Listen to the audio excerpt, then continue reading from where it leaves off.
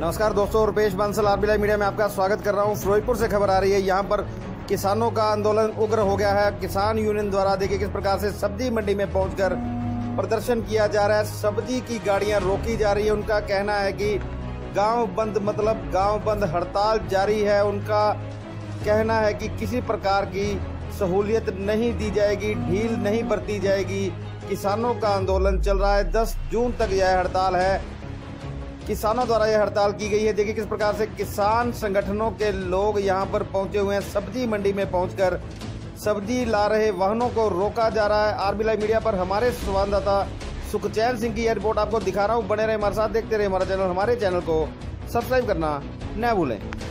किसान नेताओं द्वारा सब्ज़ी मंडी में पहुंचकर यहाँ पर सब्ज़ी की गाड़ियाँ रोक ली हैं। उनका कहना है कि किसानों की हड़ताल चल रही है। किसानों द्वारा किसी प्रकार की सब्ज़ी, दूध व अन्य पदार्थ जो कि गाँवों से आते हैं, वे शहर में नहीं आने दिए जाएँगे। उन्होंने कहा कि यह हड़ताल 10 जून तक लगातार जारी रहेगी। हमारे संवाददाता सुखचैन सिंह द्वारा यह तस्वीरें मौके से हमें भेजी जा रही हैं। फिरोजपुर से यह तस्वीरें आ रही हैं। आर लाइव मीडिया पर आपको लाइव कवरेज दिखा रहा हूँ। बने रहे हमारे साथ, देखते रहे हमारा चैनल।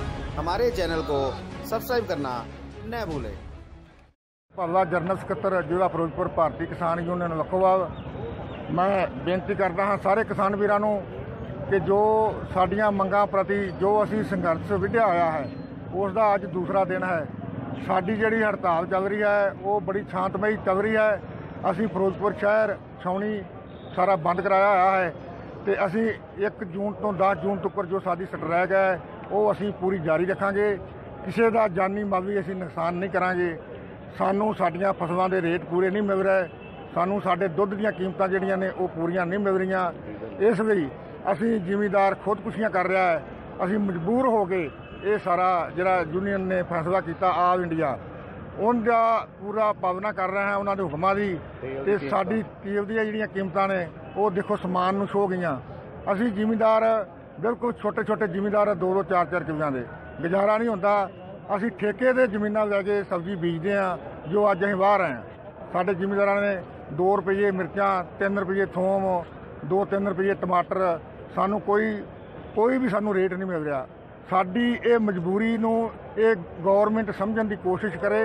ਅਸੀਂ ਇਹ ਬੇਨਤੀ ਕਰਦੇ ਹਾਂ ਤੇ ਇੱਕ ਅਪੀਲ ਵੀ ਕਰਦੇ ਹਾਂ ਸਾਰੇ ਸੈਂਟਰ ਨੂੰ, ਪੰਜਾਬ ਸਰਕਾਰ ਨੂੰ, ਕਿ ਜੇ ਸਾਡੀਆਂ ਮੰਗਾਂ ਇਹਨਾਂ ਨੇ ਨਾ ਮੰਨੀਆਂ, ਅਸੀਂ ਆਉਣ ਵਾਲੇ ਇਲੈਕਸ਼ਨ ਦੇ ਵਿੱਚ 19 ਦੇ ਵਿੱਚ ਅਸੀਂ ਇਹਨਾਂ ਨੂੰ ਸਬਕ ਸਿਖਾ ਦਿਆਂਗੇ।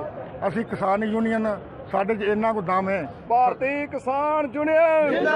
ਖਾਲਸਾ ਵਾਹਿਗੁਰੂ ਜੀ ਕੀ ਫਤਿਹ। ਮੈਂ ਸਰਦਾਰ ਅੰਗਰੇਜ਼ ਸਿੰਘ ਮਾਨ ਪਿੰਡ ਸੱਦੂ ਸ਼ਾਵਲੇ ਦੇ ਰਹਿਣ ਵਾਲਾ ਹਾਂ ਜੋ ਕਿ ਸਰਦਾਰ ਦਰਸ਼ਨ ਸਿੰਘ ਵਿਚਾਰ ਕਰ ਗਏ ਨੇ ਬਹੁਤ ਸੋਹਣਾ ਕਰ ਗਏ ਨੇ ਉਹ ਵਿਚਾਰ ਦੇ ਪਿੱਛੇ ਕਰਨਾ ਚਾਹੀਦਾ ਹੈ।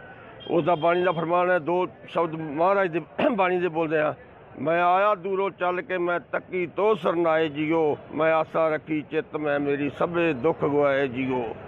ਤੂੰ ਨਾ ਕਰੇ ਤੇ ਹੋਰ ਵੀ ਕਰੇ, ਕਿਹੜਾ ਮੇਰੀਆਂ ਸਭੇ ਜ਼ਰੂਰਤਾਂ ਪੂਰੀਆਂ ਨੂੰ ਲੋਕ ਤੱਕਦੇ ਆ ਬਗਾਨਿਆਂ ਨੂੰ ਤੇ ਮੈਂ ਤੱਕਦਾ ਰਹਿਮਤਾਂ ਤੇਰੀਆਂ ਨੂੰ। ਵਾਹਿਗੁਰੂ ਜੀ ਕਾ ਖਾਲਸਾ, ਵਾਹਿਗੁਰੂ ਜੀ ਕੀ ਫਤਿਹ।